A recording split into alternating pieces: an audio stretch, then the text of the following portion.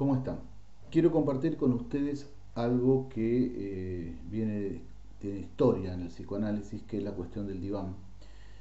Que esto empieza desde Freud a partir de que él dice que le molestaban los pacientes cara a cara por muchas horas, es decir, que ya empieza con una cuestión del fantasma del analista.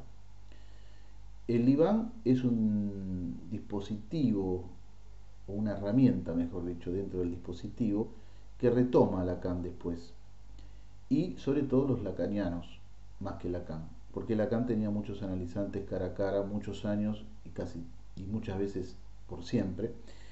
Eh, hay una cuestión con el diván que parece ser que es la ayuda a la asociación libre, es decir, a hablar, a bajar las resistencias. Cuando hablamos de resistencias en psicoanálisis hablamos de resistencias al hablar. La asociación libre es otro invento de Freud en la inmicción de otredad y en el dispositivo lacaniano no hay asociación libre, por más que el 99% de los lacanianos hablen de asociación libre. La asociación libre no existe porque, este, como dice Lacan en, en los últimos seminarios, entre el S1 y el S2 hay forzaje. Y primero por eso, y segundo porque la responsabilidad es del analista, no del paciente. Si trabajo con la asociación libre, trabajo con el homúnculo, es decir, trabajo con la espera de que el paciente asocie. El paciente siempre asocia, si vamos a trabajar con eso, en todo caso. El paciente siempre dice algo que tiene que ver con lo que le preguntamos. Más allá de que el colega muchas veces piense que no. Entonces, vamos al tema del diván. Primero quiero aclarar que esto es una cuestión de los analistas, es decir, no voy a contarles a ustedes la problemática del paciente. Si el paciente quiere ir a diván, quiere cara a cara, presencial, por teléfono, por internet, porque el paciente puede querer también un analista que tenga 60 años, porque considera que los analistas viejos saben más o escuchan mejor, o al revés, que tenga 20, porque los analistas viejos son todos tarados, ya no tienen ganas de escuchar, y los de 20, como recién empieza, tienen más ganas, o el analizante puede querer que el consultorio esté cerca o esté lejos de la casa, o que sea hombre, que sea mujer, etcétera. Esa parte no es la que vamos a trabajar, no me interesa lo que quiera el paciente. Acá lo que nos interesa a nosotros es qué hacemos con el diván. O mejor dicho, qué hacemos con el dispositivo analítico.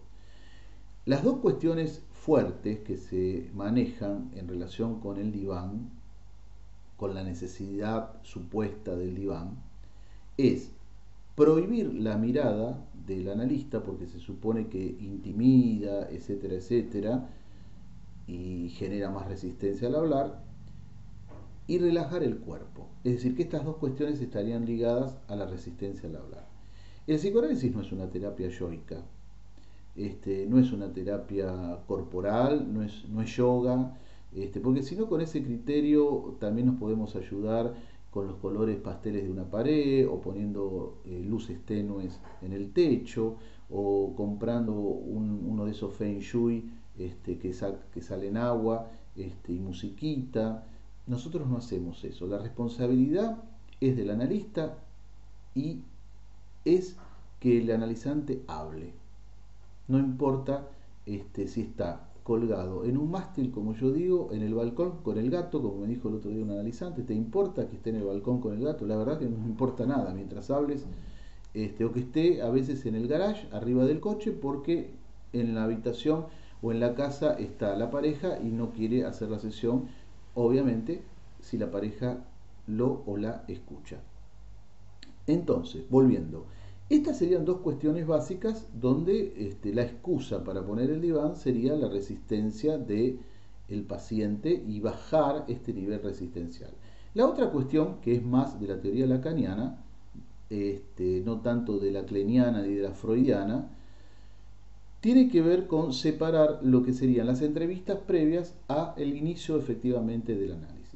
Como no trabajo con asociación libre ni con este, el homúnculo, tampoco trabajo con entrevistas previas. Esto no quiere decir que uno, después de un año, este, es decir, yo trabajo con la sesión desde, desde el primer momento.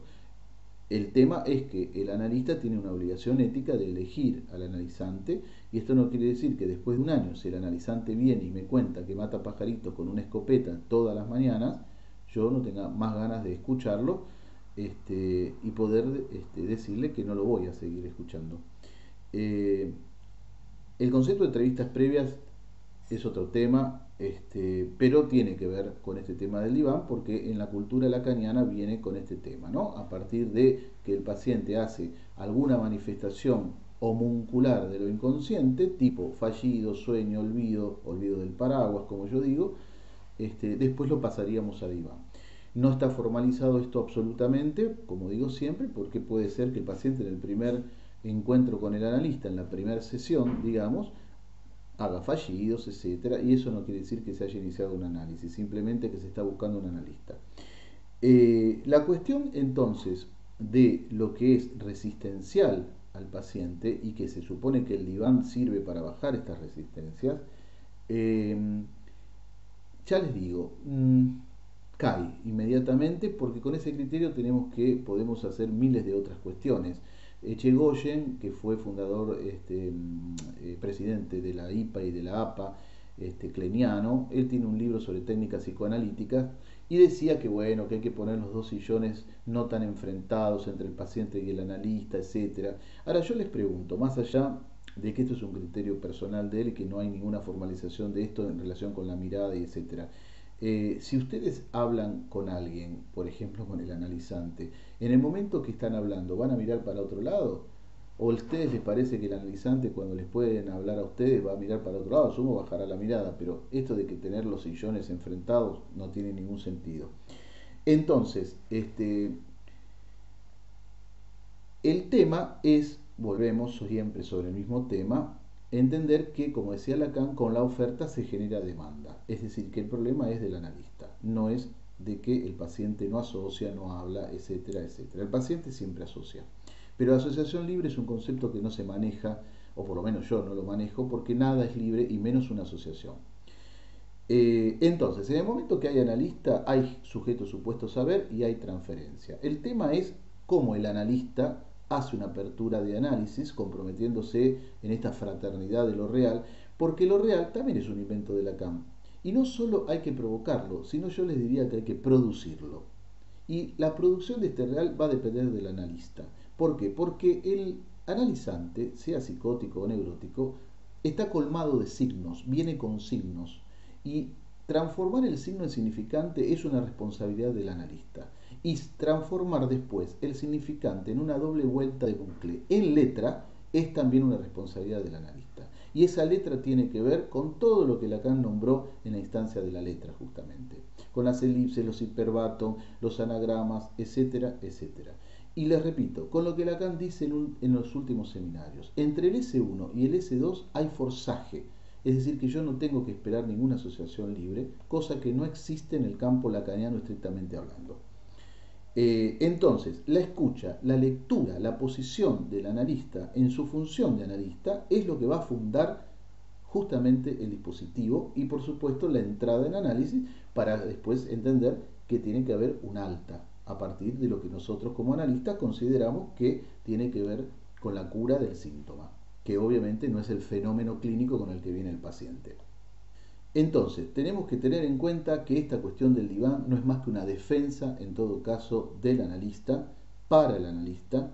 Eh, otro de los modos que tiene el analista de no saber qué hacer en el dispositivo, digamos, la responsabilidad de apertura de análisis es del analista. Nosotros tenemos que trabajar desde la primera sesión, desde el primer encuentro con el paciente, en función analista. Esto no quiere decir que estemos los 40 minutos o los minutos que ustedes trabajen con el paciente con en función del analista, porque por supuesto que hay diálogo y por supuesto que necesito el eje imaginario para poder producir algo en lo real.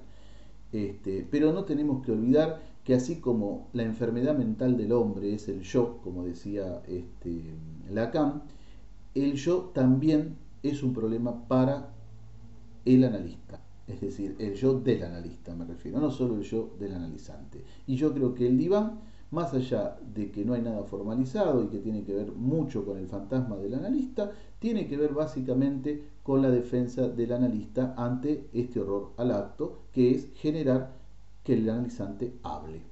No importa si tenemos una lámpara, un diván o un florero. Que estén bien.